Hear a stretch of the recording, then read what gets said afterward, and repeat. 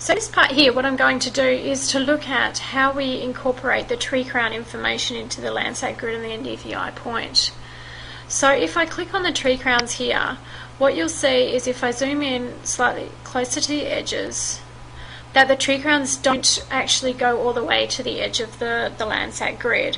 Now this would be a bit of a problem if we're looking at calculating the percentage of each grid cell that's covered by vegetation. So for example, in, in the upper left hand corner grid, there's only a small portion of the of that grid cell that's covered by vegetation and that's not because there's a lack of vegetation in the rest of that grid cell but because the analysis of vegetation density didn't go that far. So if we were to include that cell, we might say there was only 10% vegetation in that cell, but that would be erroneous. So what we need to do is to remove these from the analysis. So I'm going to go back to zoom to zooming to that layer, and I know that this only happens right around the edges, and I zoom in and check that, make sure that that's correct. So this this effect is just happening right around my edge cells here. Okay, so if I go into that layer, what I now want to do is turn off the tree crowns and I'm going to delete these, the NDVI points and the grid cells that occur around the edge here. So to do this, I'm going to first of all go up to the editor toolbar and if this isn't available for you just yet, what you need to do is to right click anywhere in the toolbar area and then turn on the editor toolbar here. So once I've got that activated, I click on editor and start editing.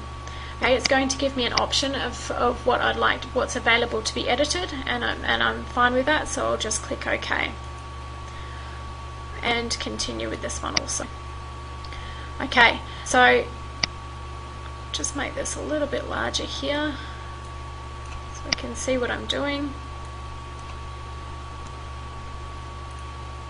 Alright, now you can see the, that my cursor is now this little black arrow. What I'm going to do now is to click and drag out and select all of the little cells and dots in that first row there. And I'm now going to do the same by using the control key to click and drag out and select all of the sorry, holding the shift key, click and drag out to select all of those along the right hand side do the same along the bottom and on the left hand side.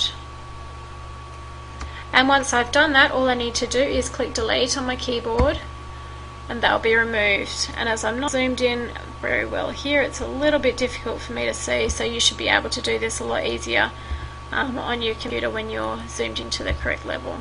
So there we go, I've just removed one, one row and column of data around each side there. So now if I click on tree crowns, they should actually be larger all the way around the data set here and that's exactly what I want because now I'm only going to analyze those cells that lie within the border of the tree crowns. So to finish that I'll just click on editor and stop editing and it'll ask me if I would like to save my edits and I click OK or yes for that and that's that's all we need to do for that step. Just again just double check make sure that you don't have any outlying cells or NDVI points